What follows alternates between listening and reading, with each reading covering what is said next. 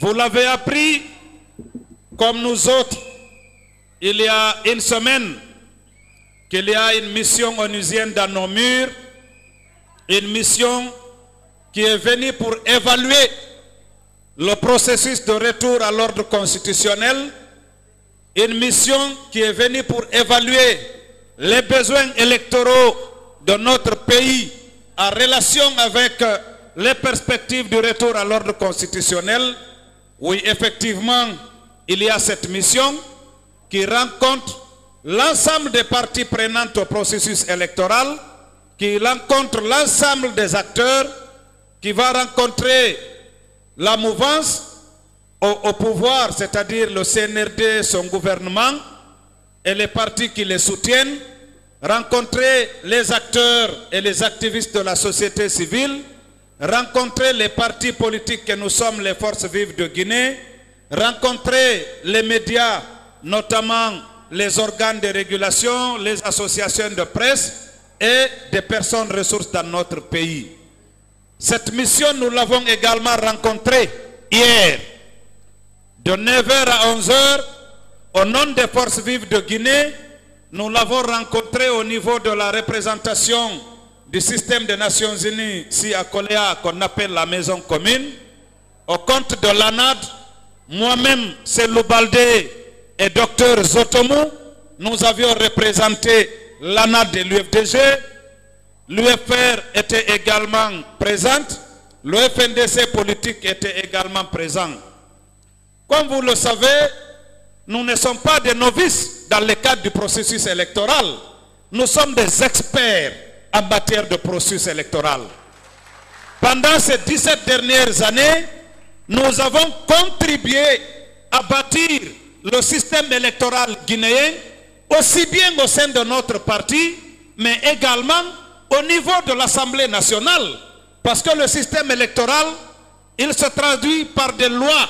C'est le code électoral, c'est la constitution, c'est la loi sur la CENI, c'est l'organe de gestion des élections, c'est un ensemble de dispositifs, un ensemble d'outils qui constituent en tout cas l'arsenal électoral de notre pays. L'UFDG a contribué, a été un artisan pour doter la Guinée d'outils en tout cas fiables sur le plan du processus électoral. En 2013, nous avons été élus à l'Assemblée nationale. Nous avons contribué à écrire beaucoup de lois. Nous avons amendé le code électoral. Nous avons amendé le code des collectivités. Nous avons, sur la base de l'accord politique du 12 octobre 2016, amendé la loi sur la CENI. Et c'est à cette occasion que le vice-président, M. Banosso, a été désigné à l'époque comme vice-président de la CENI. M. Diogo Baldé, M. Safa Tunkara, Mme Marie-Louise, également du côté de l'UFDG. Donc quand on parle de processus électoral, l'UFDG dispose des experts. Et comme nous l'avions dit ici, quand les 10 points ont été sortis dans le cadre de l'accord dynamique avec la CDAO, nous n'avions pas marqué d'alerter. Je me rappelle, au niveau de ce pupitre, j'avais mis au défi tous les experts de ce pays en matière d'élection de me prouver qu'on pouvait utiliser le RAVEC, le recensement administratif à vocation d'état civil, pour nous sortir un fichier d'état civil fiable duquel on pouvait extraire un fichier électoral pour nous conduire aux élections avant le 31 décembre 2024. Où en sommes-nous aujourd'hui? Est-ce qu'on a un fichier d'état civil? Est-ce qu'on a un fichier électoral? Nous n'en avons pas. Nous l'avions dit et répété ici. Peut-être que certains pensaient que c'était de la rhétorique politique. Mais en tant qu'expert électoral, nous savions pertinemment que ce n'était pas possible. Et alors, aujourd'hui, parce que nous sommes arrivés à la croisée des chemins, nous sommes arrivés à la croisée des chemins, la mission dont vous entendez parler, c'est le gouvernement guinéen même qui a fait appel aux Nations Unies pour venir les aider à réévaluer ou à évaluer le processus de retour à l'ordre constitutionnel. Mais comme nous, depuis le 5 septembre 2021, nous étions prêts, quelques trois semaines, deux semaines après la prise du pouvoir, nous avions élaboré et déposé un mémorandum au niveau du CNRD, dans lequel mémorandum nous avions décliné notre vision de la transition et quelle étape, quelle procédure il fallait suivre jusqu'à l'installation des autorités civiles légalement et légitimement élues dans notre pays. Ce mémo a été classé sans suite.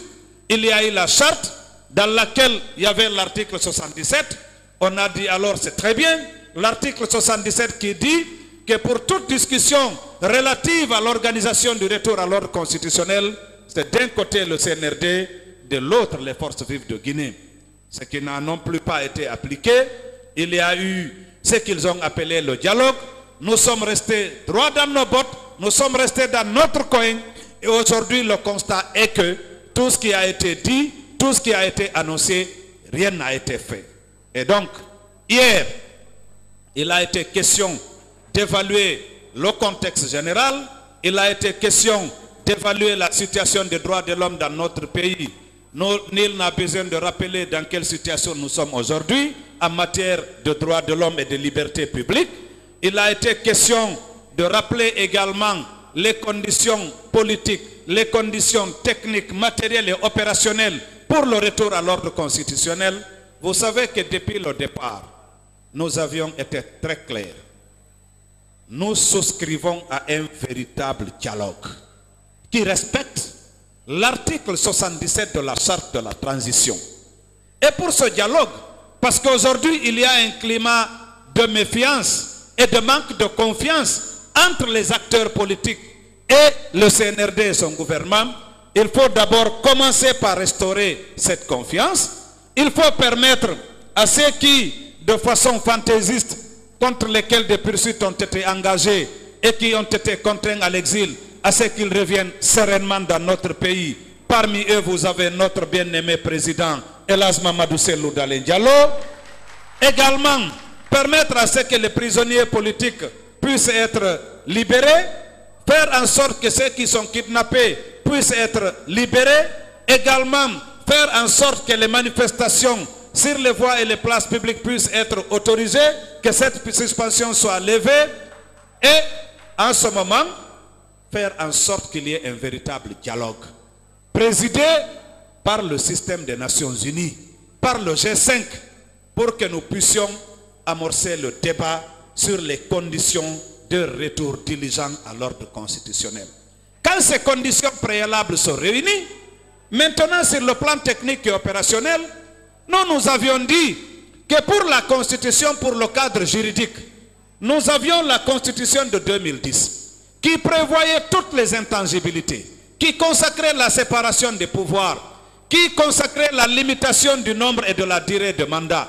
On n'avait pas besoin d'un CNT de 85 personnes, on n'avait pas besoin de 3 ans, on avait besoin d'un comité d'experts, de constitutionnalistes, appuyé par une forte assistance technique de l'Union européenne, des Nations Unies et de la CDAO. À moins de 45 jours, on aurait pu amender la constitution de 2010 sortir une constitution comme on le dit, on aime le dire, qui nous ressemble et qui nous rassemble.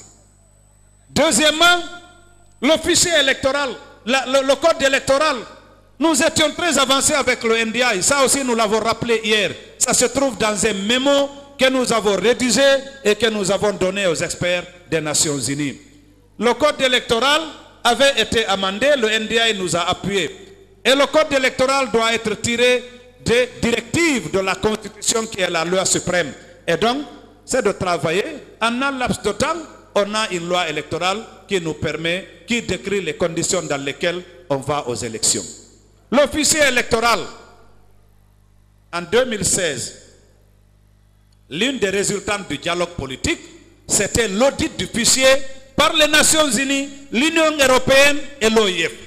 Cet audit a été fait parce qu'il y a vraiment eu une bataille, il y a eu une bagarre. La mouvance d'alors ne voulait pas, mais la raison l'a emporté. L'audit a eu lieu. Et c'est suite à cet audit qu'il y a eu l'assainissement du fichier électoral par l'OIF et la CDAO en 2020. Aujourd'hui, nous disposons d'un fichier électoral qui n'a besoin que d'être révisé pour permettre à ceux-là qui ont eu 18 ans depuis l'an 2020 d'être enrôlés, d'être des électeurs pour permettre aux Guinéens de l'étranger qui ne figuraient pas dans ce fichier d'être également enrôlés. Et ça, à travers une révision ordinaire, le vice-président de la CENI est là, les autres experts sont là, à moins de 90 jours, on peut le faire et sortir un fichier électoral qui peut nous conduire à l'organisation des élections. Et pour cela, on a besoin d'un opérateur technique. Là aussi, on a dit qu'on n'a pas besoin d'une procédure fastidieuse. Innovatrix était là, ils connaissent les contraintes, ils connaissent les méthodologies, ils connaissent les procédures, ils ont déjà travaillé pour la Guinée, ils connaissent toutes les difficultés liées à la remontée des résultats. Donc il faut rapidement signer un contrat avec Innovatrix pour que ces opérations puissent être diligentées. Pour aller aux élections, au-delà de la constitution, de la loi électorale, du fichier électoral, on a besoin de matériel électoral. Le matériel électoral, on en a acquis assez.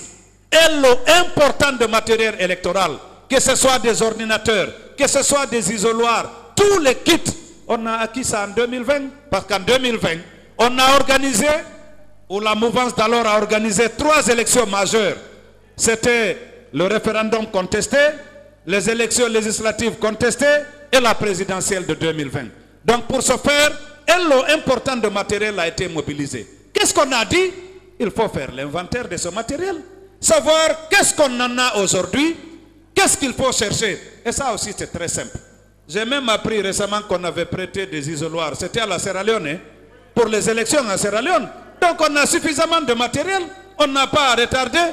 Et donc quand on a tout ça, il faut mettre en place, avant l'organe de gestion des élections.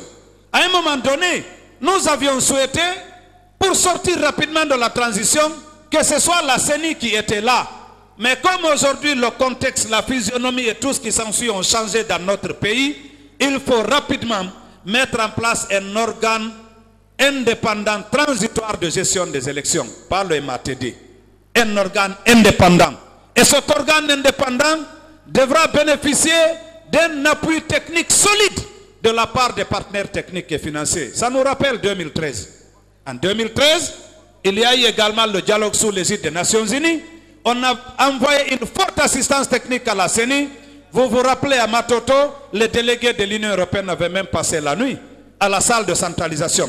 Donc comme il y a une crise de confiance, il faut permettre à ce que les Nations Unies, l'Union européenne, la CDAO et tous les autres puissent déployer une assistance technique, aider notre CENI à ce qu'on puisse organiser les élections. Un autre élément fondamental qu'on a dit, c'est de faire en sorte que les éléments de transparence puissent être, consacrés. C'est de supprimer carrément tout ce qui est CACV, tout ce qui est CRTPV, commission administrative de centralisation, de transmission, tout ça c'était pour changer les PV. Vous le savez mieux que moi. Aujourd'hui, il faut aller à la digitalisation. Le gouvernement est en train de tout digitaliser. Les permis, les cartes d'identité, les passeports, tout est digitalisé. Pourquoi ne pas digitaliser le système électoral? Même si on ne digitalise pas de A à Z, mais au moins le processus et la procédure de remontée des résultats à partir du bureau de vote, que cela puisse être digitalisé. À partir d'une plateforme digitale, au niveau du bureau de vote, que les résultats puissent être ventilés de façon numérisée à toutes les parties prenantes du processus électoral. À l'UFDG, nous l'avons réussi. Nous l'avons réussi avec e-vote. Dans la nuit du 18 octobre au 19, nous avons pu mettre en évidence que le candidat Selou Dalem avait gagné avec plus de 53%. Et ça, ce n'est pas diable, c'est l'informatique, c'est le, le, le numérique, c'est la digitalisation. Et donc nous avons défendu la position de l'ANAD, la position des forces vives. Nous avons dit à la mission onusienne que nous sommes totalement prêts à souscrire à un dialogue, mais un véritable dialogue à condition que les conditions préalables soient remplies. Et donc, en votre nom, nous avons représenté l'UFDG à ce niveau-là.